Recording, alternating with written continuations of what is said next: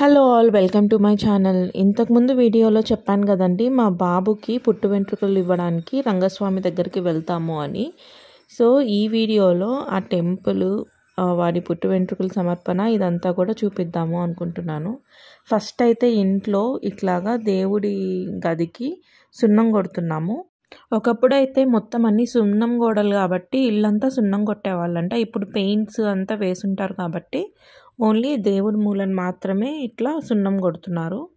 సున్నం కొట్టడం అయిపోయిన తర్వాత ఇల్లంతా మేము శుభ్రం చేసుకుని స్వామికి పొంగల్ పెడుతున్నాము. ఇక్కడ ఇంట్లో ఒకసారి పెట్టి దేవుడి ముందు ఉంచుతాము. మళ్ళీ గుడికి వెళ్ళాక కూడా ఇంకొకసారి పెడతాము. అది వీడియోలో వస్తుంది చూపిస్తాను. సున్నం కొట్టడం అయిపోయిన తర్వాత పూజ గదిని పటాలు అన్నీ పెట్టుకుని అలంకరించుకుంటున్నాం ఇక్కడ నేను పసుపు కుంకుమ పెడుతున్నాను. పొంగల్ చేయడం అవ్వగానే దేవుడికి దీపారాధన చేసుకుని ఈ నైవేద్యాన్ని దేవుడికి సమర్పించి ఇంటి దగ్గర అందరికీ కూడా పంచాము. ఇదిగోండి రంగస్వామికి దీపారాధన చేసి చేసిన పొంగల్ నైవేద్యాన్ని స్వామికి సమర్పించి అలాగే తాంబూలాన్ని కూడా పెట్టాము. రంగస్వామి దగ్గరికి వెళ్ళేటప్పుడు ఇంట్లో అందరూ కూడా ఇలా దేవుడి నామాలు పెట్టుకొని వెళ్ళాలంట.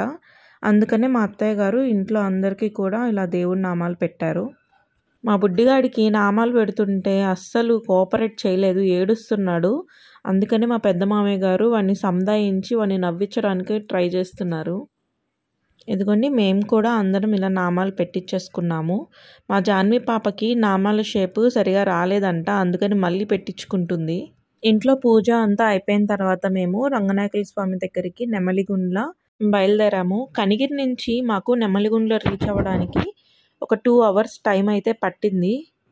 దారి పొడుగునా కూడా ఘాట్ రోడ్డు కొండలు చుట్టూ చెట్లతో చాలా బాగుండింది జర్నీ అంతా మాది. దారంతా కూడా నాటు రేగిపళ్ళ చెట్లు ఉన్నాయి మధ్యలో ఆగుదాం అనుకున్నాం కానీ అప్పటికే లేట్ అయిపోయింది అని చెప్పి రిటర్న్లో ఆగుదాము అనుకున్నాము. ఫాస్ట్గా వెళ్ళడం వల్ల క్యాప్చర్ చేయడం అయితే కుదరలేదు మాకు. దువ్వెన చెట్లు తెలుసా మీకు? అవి కూడా కనిపించాయి మాకు దారిలో. సో ఫైనల్గా మేము టెంపుల్కి అయితే రీచ్ అయిపోయామండి. ఇది టెంపుల్ ఎంట్రన్స్. ఈ ఎంట్రన్స్ నుంచి ఒక టూ త్రీ కిలోమీటర్స్ లోపలికి వచ్చిన తర్వాత మనకి అమ్మవారి టెంపుల్ ఇట్లా సత్రాలు ఉంటాయి అన్నదాన సత్రాలు. ఇక్కడ మేము పొంగల్ చేసుకుంటున్నాము. ఇక్కడ పొంగల్ చేసి పైన గుడికి తీసుకెళ్ళాలన్నమాట. స్వామి ముందు పెట్టి తర్వాత దాన్ని అందరికీ పంచుతారు. ఇది అడవి కదండి కోతులు ఎక్కువ ఉన్నాయి. కోతుల్ని చూసి జాన్వి భయపడుతుంటే మా చిట్టి దానికి ధైర్యం చెప్తుంది చూడండి.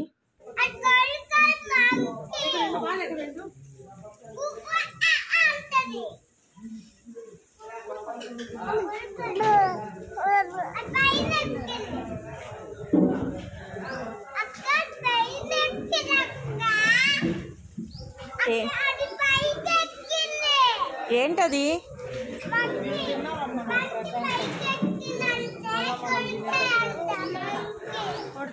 స్వామికి తీసుకెళ్ళాల్సిన పొంగల్ అయితే రెడీ అయిపోయిందండి. సత్రం నుంచి టెంపుల్ వరకు కూడా ఇలా తల మీద పెట్టుకొని తీసుకెళ్ళాలి. మేము కార్లో వచ్చాం కాబట్టి కార్ వరకు తీసుకొచ్చాను. ఇప్పుడంటే రోడ్డు వేశారు కాబట్టి ఇలా నడుస్తుంది మాకు. ఒకప్పుడైతే అసలు రోడ్డు కూడా ఉండేది కాదంటే మీరు ఎలా తీసుకెళ్ళవాలి అత్తమ్మ? అప్పుడు అట్లాగే తల మీద పెట్టుకొని ఆ నడుచుకుంటూ కొండలు గుట్టలు దాటుకుంటూ వెళ్ళేటోళ్ళము. టూ కిలోమీటర్స్ టూ కిలోమీటర్స్ ఎండలో నడుచుకుంటూ. అది ఏ టైం అయినా కానీ ఎండ అయినా కానీ. వర్షం అయినా ఏ. టైం అయినా కానీ రంగస్వామికి నిష్ట ఎక్కువ పాటించాలి అంటారు కదా దాని గురించి ఏమైనా తెలుసా? చెప్తారా అత్తమ్మ? ఇక్కడికి వెళ్ళేటప్పుడు చాలా నిష్టగా వెళ్ళాలి. కొంచెం నిష్ట తప్పినా కూడా తేనెటీగలు దాడి చేస్తాయి. ఇంతకుముందు చాలామందికి అలా జరుగునింది. అందుకోసం నిష్టగా వెళ్ళాలి. ఏమీ అంటూ ముట్టు తగలకుండా వెళ్ళాలి అక్కడికి. గుడికి వెళ్ళడానికి కింద ఎంట్రన్స్ అండి ఇది. మనం ఇక్కడ వెళ్ళగానే మనకు పెద్ద గుండం ఉంటుంది. ఆ గుండంలో స్నానం చేసి తర్వాత స్వామిని దర్శించుకోవాలి. తలనీలాలు సమర్పించుకునే వాళ్ళు ఇక్కడ ఒకసారి మునిగి తలనీలాలు సమర్పించిన తర్వాత ఇంకొకసారి గుండంలో మునిగి స్నానం చేసి అలాగే టెంపుల్లోకి వెళ్ళాలి. ఈ గుండంలో నీళ్ళు అయితే చాలా క్లియర్గా ఉంటాయి. దీనిలో చిన్న చిన్న చేపలు కూడా ఉంటాయండి.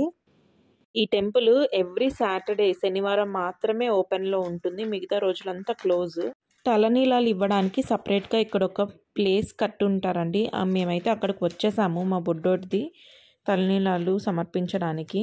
ఇక్కడ మా తమ్ముడు మా బుడ్డిగాడి తల మీద ఒక తమలపాకుని మూడు సార్లు కత్తిరించాడు.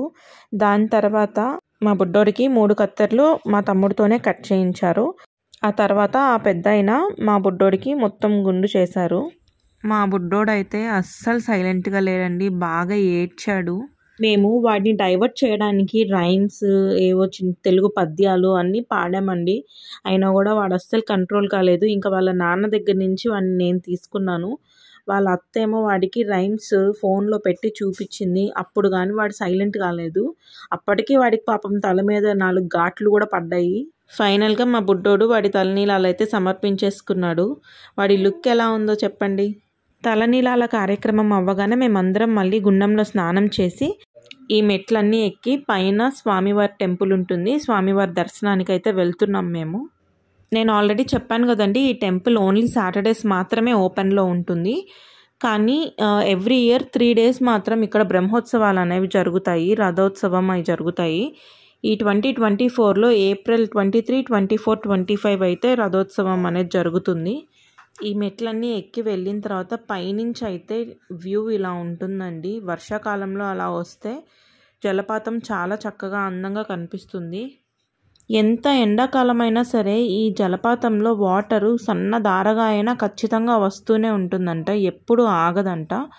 కానీ మిస్టీరియస్ థింగ్ ఏంటంటే ఈ వాటర్ ఈ జలపాతం అసలు ఎక్కడి నుంచి స్టార్ట్ అయింది ఎక్కడి నుంచి వస్తుంది అనేది ఇప్పటి వరకు ఎవ్వరు తెలుసుకోలేదంట. మీలో ఎవరికైనా ఈ టెంపుల్ గురించి లేదా ఈ జలపాతం ఈ గుండం గురించి ఎవరికన్నా తెలిస్తే కామెంట్ చేయండి.